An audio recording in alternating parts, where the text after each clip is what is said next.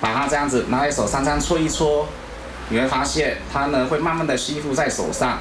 然后呢，慢慢慢慢的，你会发现它会飘了起来。双手轻轻一搓，原本在手中的百元钞突然浮在了半空中。除此之外，折一折，红色的百元钞票竟然瞬间变成了千元大钞。魔术师郑开银手法利落，但谁也没想到，他为了钻研心爱的魔术，竟然从成大水利硕士班休学创业。如今旗下已经有多位魔术师徒弟。